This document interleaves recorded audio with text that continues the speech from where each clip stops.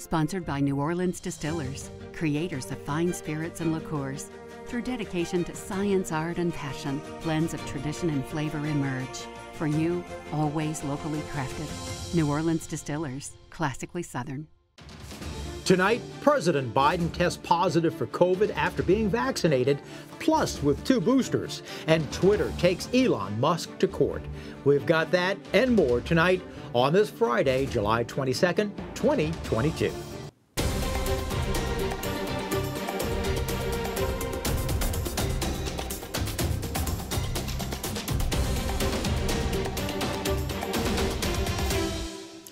I'm Andre Laborde. Welcome to Wall Street Wrap Up on this Friday, July 22nd, 2022. I hope your week went well. Well, coming up tonight, unless you've just woken up like Rip Van Winkle or just been rescued off Gilligan's Island, you know of Elon Musk's decision to purchase Twitter for 44 billion and then his decision or maybe it was buyer's remorse and cancel the sale. Well, Twitter doesn't like to be left at the altar. So, last week Twitter sued Elon Musk to go through with the sale. Tonight, we're going to be talking with adjunct professor of law at Loyola and a partner at Jones Walker Law Firm, Ken Nager.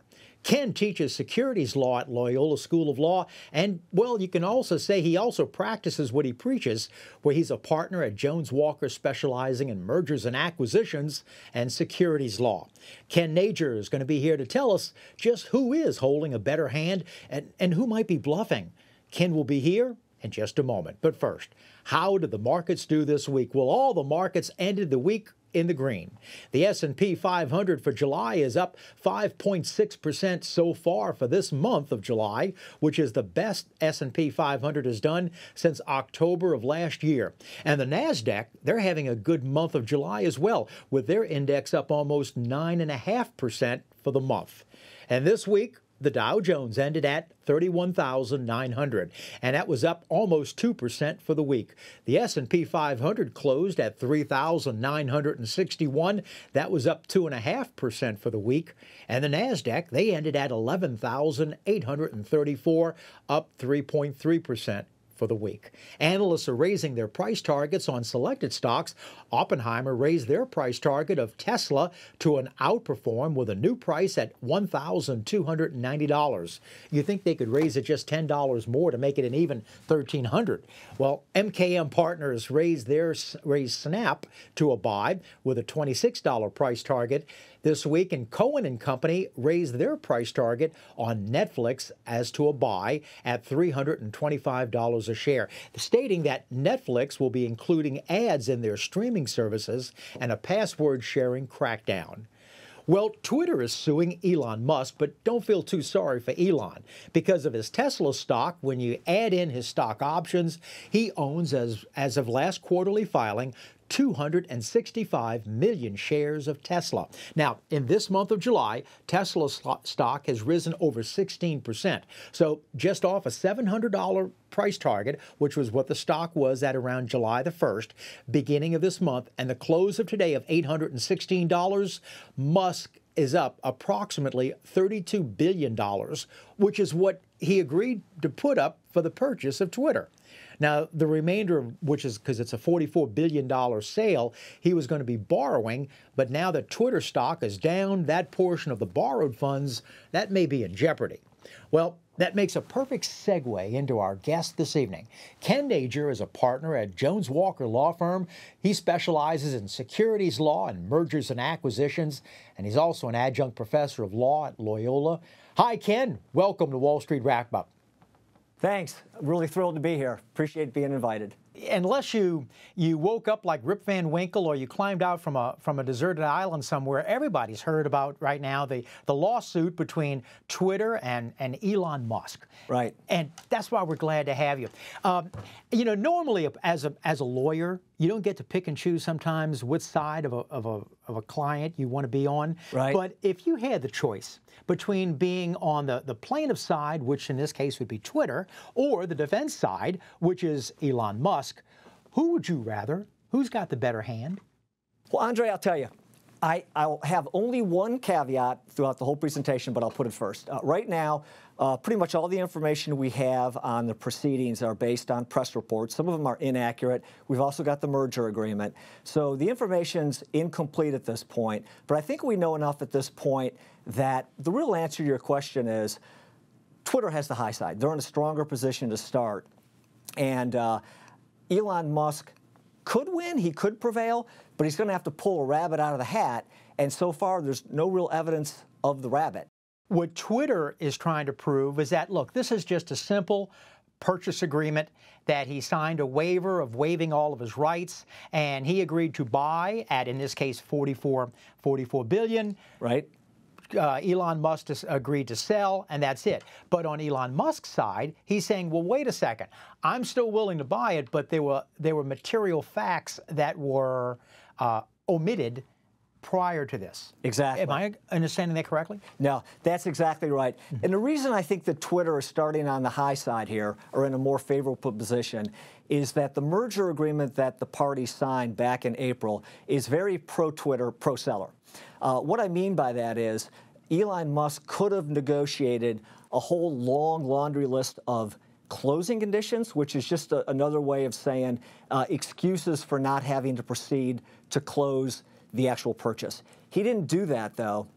And the laundry list of excuses he has for not performing is very short. Um, so he starts behind the eight ball at that point. In addition, he's unfortunately in front of the Delaware Chancery Courts, which are famous for being very um, stringent on enforcing binding contracts. Uh, and lastly, he's got the chancellor right now, Chancellor McCormick. Uh, and in the preliminary first ruling in this litigation, which is from uh, July 19th of this week, uh, the initial ruling favored Twitter. So Twitter's starting in a very strong position.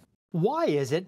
You know, you've got, when publicly traded companies, you've got headquarters in, in almost 50 states, mostly in New York, New Jersey, maybe Texas, California, and such. But when it comes to incorporating, almost all of them, if not all, are registered or incorporated in Delaware. What is it about Delaware that publicly traded companies like to incorporate there?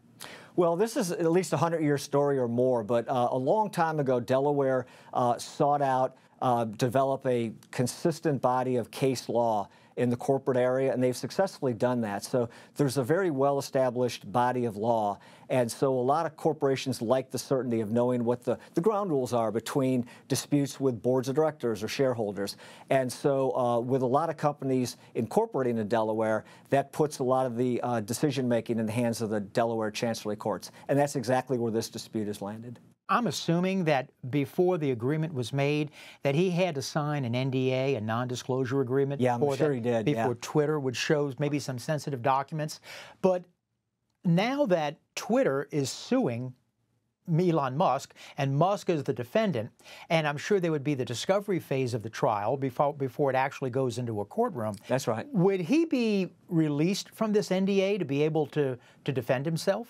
Yeah, Andre, that's a really good question. It, it's hard to know with certainty because the, these non-disclosure agreements are virtually never publicly disclosed. So they're private agreements that don't make it into the public domain. That being said, it is very common for them to be tightly worded, but they'll generally have carve-outs or excuses from the uh, confidentiality requirement in certain cases. And one of them typically is if uh, regulators insist on disclosures or there's some sort of court process. So I think one of those exclusions probably is in that agreement. It'll probably apply, and that means that even if Elon Musk was bound to some form of secrecy, uh, he'll be able to defend himself in court. Would he be able to have an out then by saying, like, let's say the chancery says you can you can disclose this portion of the NDA, but you can't disclose that portion? Then he would say, well, wait a second.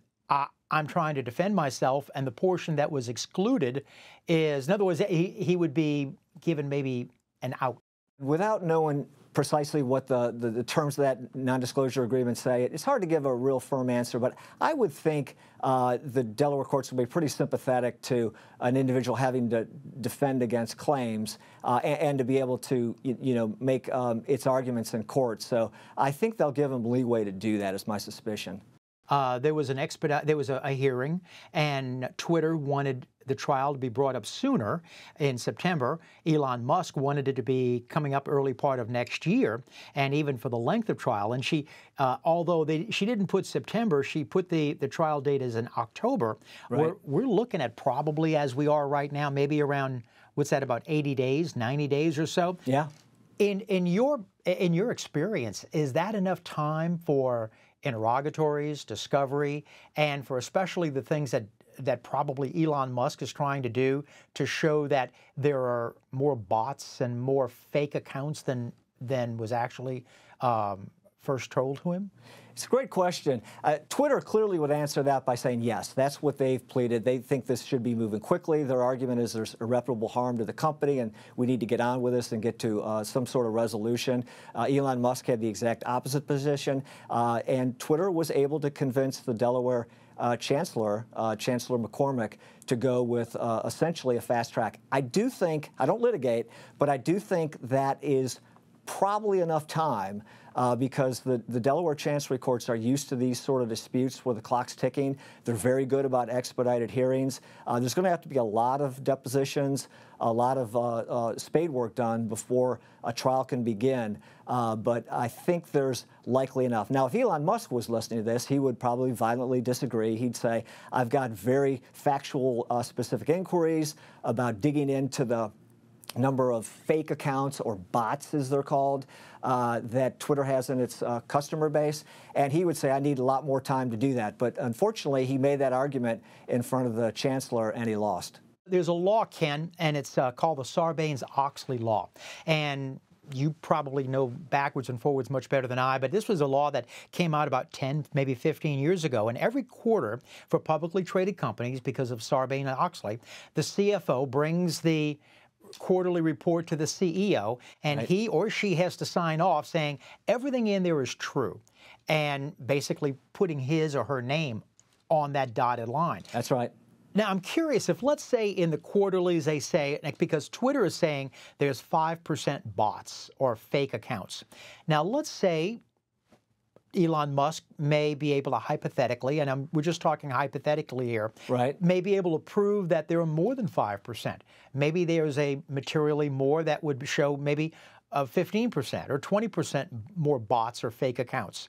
Would that open up people like the CEO of of Twitter and maybe members of the board of directors or the chairman of the board for problems with the SEC because they were saying on quarterly reports in that Sarbanes-Oxley bill law that we guarantee that only 5% of the of the accounts are bots. Yeah, Andre, I'll, I'll tell you, I started out by saying uh, Elon Musk may have to pull a rabbit out of his hat. That would be the actual rabbit.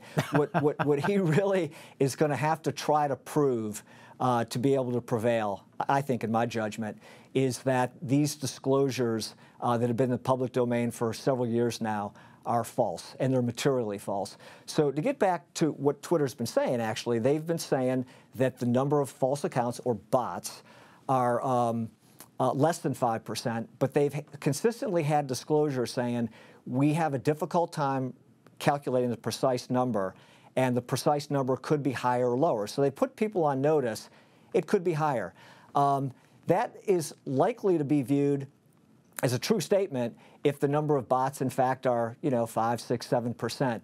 If Elon Musk though could prove it's materially incorrect, like in, in your case, it's 15% or 20%, that would go to the whole value of how much Twitter is actually worth. Uh, advertisers would be willing to pay less for advertising, uh, and the market value of, of, Twitter really would be lower at that point if that can be proved. So that's really the crux of Elon Musk's dilemma here. Uh, he's trying to buy time. He didn't get an initial victory, uh, but he needs time to dig into the bot numbers and see if he can make a case. Back to your Sarbanes-Oxley question, if all this happens and Elon Musk prevails, it's a game changer in a couple of ways. Uh, the litigation odds are going to shift back in favor of Elon Musk. And to your point, Twitter's going to be in a whale of trouble at that point. Uh, they'll have years of inaccurate statements uh, and likely the plaintiff bar will come after them with uh, class action suits for misrepresentations made in their public reports. And on top of that, they'll probably get uh, suits by their advertisers against them saying, uh, we spent advertising dollars with you guys at Twitter under false pretenses. So it would, it would create a very, very significant set of problems for Twitter. And I never thought about the advertisers too, because yeah. then they could come back on there too. That's can right. a can a judge can force a person to buy something that he or she may not really want to buy? Yeah, they, they can under certain circumstances. And normally, um, when you sue for breach of contract, the normal remedy would be money damages. But there is something called specific performance. And Elon Musk actually agreed uh, in the merger agreement back from April that either side can specifically enforce the agreement. That means uh, either side can go to court and force the other one to perform its obligation. So it works both ways. If for some reason uh, Twitter uh, wanted out, Elon Musk could go into a court and basically say, I want to specifically enforce your obligation. It also, unfortunately for Elon Musk, works the opposite way. And that's precisely what Twitter is arguing right now. They're, they're going, they're, they're playing hardball right now and taking a very hardline, aggressive position saying uh, nothing is acceptable to us other than Elon Musk completing the deal at $54 a share. Can a judge force a person, force two parties to settle? Or just make it maybe so hard on them that they'll go, let's go ahead and settle this thing? Technically, Andre, the answer is no. They really don't have the power to do that. Both sides would have to agree. But behind the scenes, I think this goes on a lot. I wouldn't be surprised if it's not going on here, too.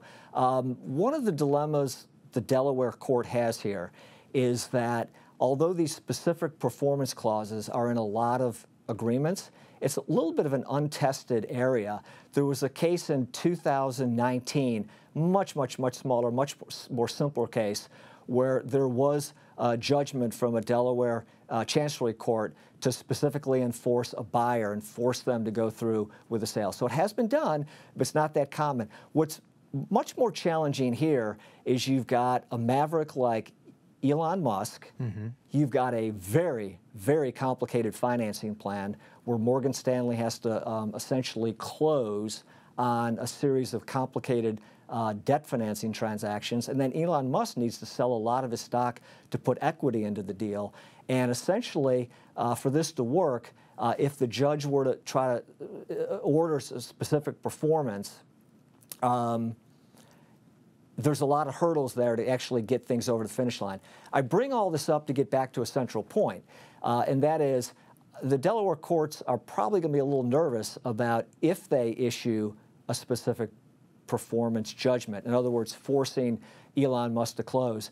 Can they actually enforce it? Uh, you go back to the famous quote of Andrew Jackson back uh, in the 19th century where he said, the Supreme Court has ruled, now let, us see uh, them actually enforce it. In the Delaware courts like this, are there appeals processes? Well, like if you don't like the lower court ruling, you can always appeal it to a higher court.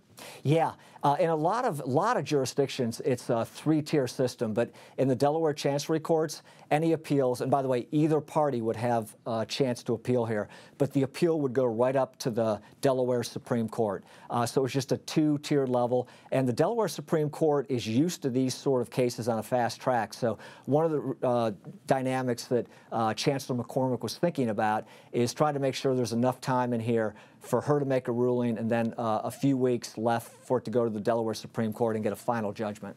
Ken is a partner at Jones Walker Law Firm. He's also an adjunct professor of law over at, at Loyola University. So glad to have him. Don't go away. We'll be right back.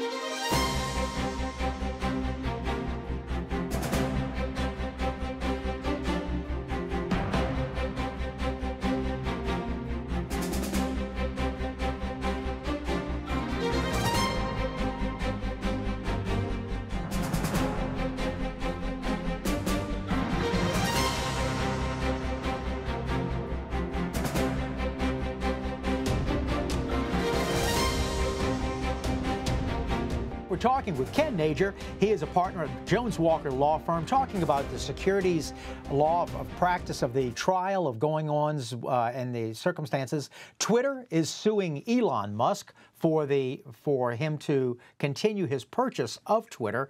Is the type of person, and I'm calling her, normally I would say Judge McCormick, right. but in there, do you call them Chancery? Is that a specific name? But it's the same yeah. as a judge? Yeah, it's a little bit unique to Delaware in their chancery courts. But yeah, uh, it's Judge McCormick. Uh, in Delaware, they're typically called the chancellor. There are uh, five look, I'm not a litigator. I think I'm getting this right. I believe there's five Chancery Court judges. She is the chief uh, of those five, so they call her the chancellor. The others are uh, assistant chancellors. I see. And you know, sometimes when you when you know about judges, you know are they or he or she more pro plaintiff or they're pro defendant or you kind of get a feel of what type of a, of a personality a judge is. Has have you known have you have you talked to anybody of, of just what kind of a personality judge mccormick is to find out are they more pro defendant they're more pro plaintiff you know, it's a great question because this oftentimes drives results in a lot of litigation with all 50 states. I really don't have a good answer for here other than uh, the Delaware courts are pretty well known for being having an even keel, and even balance. One of the reasons that so many people incorporate there is they try to keep a very level playing field between uh, shareholder rights and company rights. Um, and I think, you know, she's going to try to enforce that. They've got a multi-decade reputation for doing that. Uh, this chancellor, Chancellor McCormick, has had a, a very fast rise. Um, she's only been on the chancellery courts for about four years, but after three years, she was uh, promoted to be the chief chancellor, and that's a very, very quick rise. So she's got uh, a very strong reputation, uh, but really beyond that, I don't have a great feel for if either side is sort of uh, happy with the choice when it comes to this type of a, a purchase agreement, many people, we've at one time or another, we've all had buyer's remorse about something, whether it be for a, from a suit of clothes, a car, a house, whatever it may be.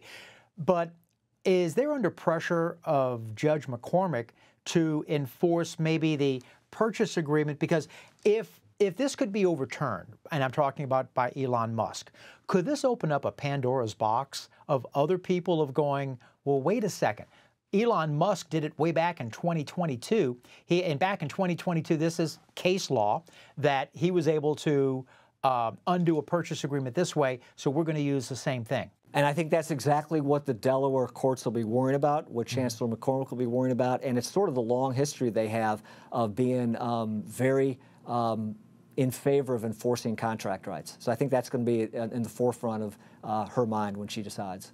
So let's say if a purchase agreement was made by Elon Musk on a certain date, and now we're talking into the July going into August, or let's say, or let's say October of 2022. There have been changes that Twitter has made, whether they've hired people, they've fired people, they've made executive decisions on Twitter. Could could Elon Musk say, well, wait a second, when I made this agreement to purchase, that was on such and such date, and since that time, these decisions were made by the CEO, which may affect or maybe materially affect my, my decision? Yeah, that's a provision in pretty much all merger agreements where the company that's being purchased, the seller, uh, has an obligation to run the business in the ordinary course. And the merger agreement between Twitter and Musk has something like that. This, in fact, is one of Elon Musk's arguments. He's saying that uh, since the time I signed the agreement, there's been layoffs, there's been problem at the business, and they have not always sought out uh, my approval to some of these changes. Uh, my understanding from reading some of the uh, press coverage is that um, uh, some of the Delaware litigators are not terribly impressed with the argument, but we'll see. Uh, just recently, this week, it was found that Paul Pelosi, who is the, the husband of Speaker of the House Nancy Pelosi, uh, made millions in the in a uh, for the a stock called Nvidia, and at the same time, it was going up to the Senate for the Chips Act that was about to be passed. Mm-hmm. Now, I know that I've, you know, when you talk about um, insider trading, there's also what's called the Stock Act, and the Stock Act uh, stop trading uh, and, and it says it's an acronym for doing that. But is this is there whether you're talking about insider trading, it's not excluded for not other than those in Congress, right? I mean, what has to be proven before you show that there has been or is insider trading? Yeah, complicated question. Uh, the whole body of insider trading law is probably more complex than it should be. Uh, the reason is there's no single law you can go to that defines it. Um, and so the parameters can be a little bit murky. But clearly, it's not just the insider. So a clear insider would be someone on the board of directors of a company, an executive officer. Uh, they have obligations to keep that information confidential. Uh, and they can't, they either keep confidential or not trade, but they can't trade uh, while they're in possession of material inside information. Um, Congress realized several years ago that although that worked fine for corporate insiders, there was sort of a hole in the system because there was no way to regulate Congress. So they passed the Stock Act, which provides similar duties on a member of Congress.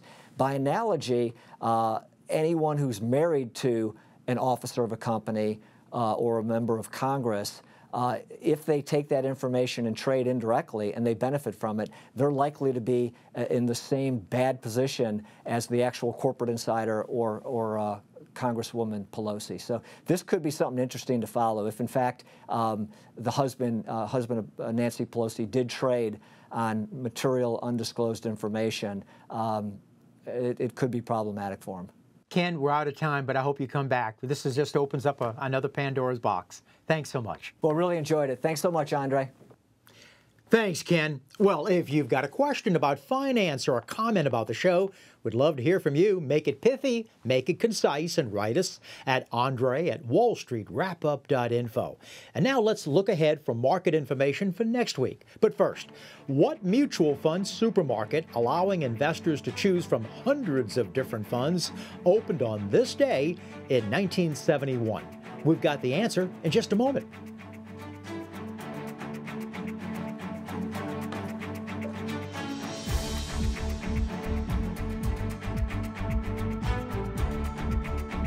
Well, what mutual fund supermarket allowing investors to choose from hundreds of different funds opened on this day in 1971? Charles Schwab. The company capitalized on the financial deregulation of the 1970s and was the first not to charge transaction fees. Opened 51 years ago today, Charles Schwab. Well, finally tonight, are you a fan of the movie The Godfather? The story of Don Vito Corleone, along with his sons Sonny and Fredo and Michael and the rest of his crime family? Well, if you are, next month, is the 50th anniversary of the opening of The Godfather. And the owners of the home used in the filming are making you an offer you can't refuse. You can rent the home of the Corleone family on Airbnb for 30 days next month. So if you'd like to have calzones with Corleones, well, you can rent the home. The Staten Island, New York home has five bedrooms, seven bathrooms, along with a pub and game room, and it's going to be available on Airbnb next month in celebration of the 50th anniversary of the opening of The Godfather. Now, remember, when it's time to leave, remember, leave the gun, take the cannolis. And, well, next week, we're going to have Tulane University's Freeman School of Business professor Peter Ricchiuti. In addition to being with Tulane School of Business, Peter is also the founder and, and he also heads up the Tulane's Burkenroad Report. That's a student-run investment research program analyzing local Louisiana companies. We'll talk about markets and how the last half of 2022 is shaping up and looking to invest. With my guest next week, Tulane's Peter Ricchiuti. As a reminder, we repeat the show on Sunday mornings, but the best way, set your DVR so you'll never miss an episode.